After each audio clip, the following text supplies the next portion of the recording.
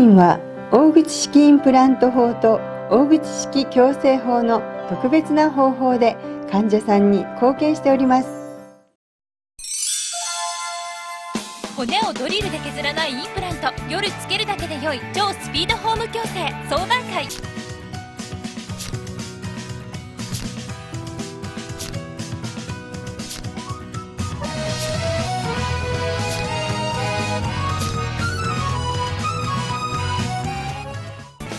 者医学博士大口博先生。相談会随時開催中。詳しくはウェブで。インプラントの埋入法の一つに抜歯後時間を空けるやり方があります。あるですね。例えばひどい虫歯や歯周病が原因で抜歯が必要な場合には抜歯後インプラントの前に行うまでの時間を空けます。はい。それと歯根が太かったりはい。長かったりした場合はインプラントの維持が難しいので、はい。えーそういう場合も空ける場合がありますね、はえーひどい虫歯や歯周病の場合周りの組織が傷つき炎症を起こしている場合がほとんどです、はい。でもう一つのケースは、いはい。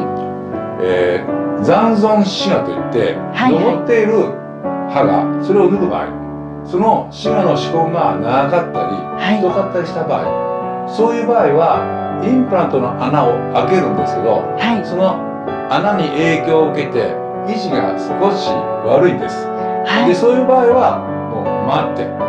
そして骨がある程度できてからやりますね。期間を空けた方がいいんですそうです、ねは歯周炎がある場合うん。歯根の周りの骨が吸収されて、えー歯茎が下がって痩せてしまっていることがよくあるんですよね。い、あるんですよ。はい。その組織を抜歯の時にしっかりと除去しますねで、えー治療を待つことでつまりインプラント手術をするのを待つことで感染のリスクをとても少なくすることができるんです。はい。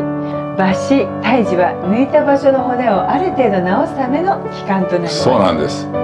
歯を抜いた後は骨の穴に骨を作ろうとする組織がたくさん集まりは少しずつですが柔らかい骨からだんだんだんだんと硬い骨に変わっていくその後1から3ヶ月ぐらい経つと完全ではありませんが骨の元になるようなえー組織でまあ柔らかい組織なんですけどもい。埋められますね。神秘的ですね、はい、そうです。その時期にインプラント体埋入オペを行うと、うインプラント体の周りにうもん。骨ができやすいと言われてますね、そうですね、その通りです。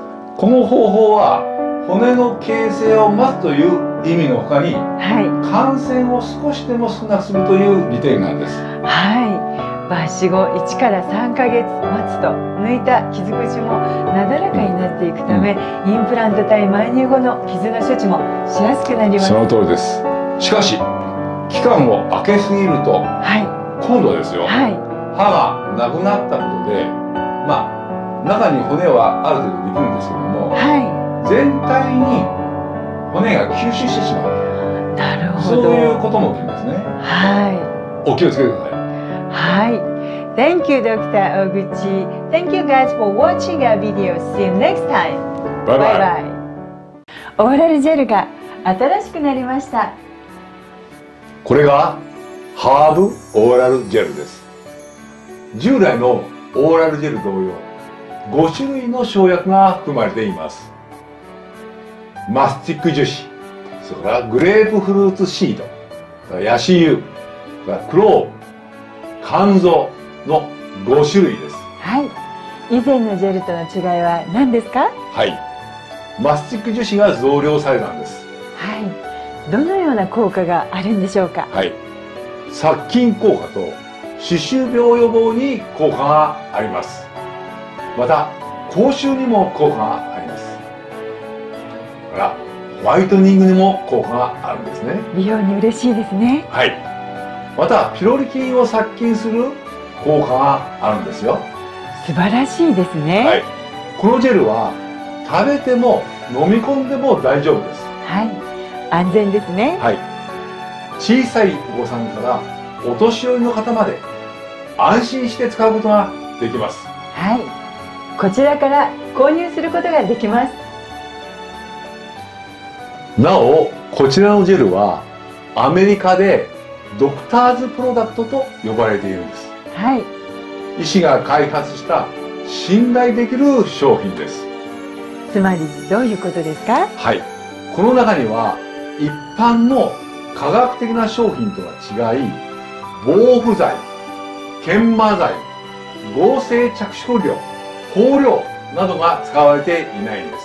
はいつまり安全で安心して使えるということですね。そうです。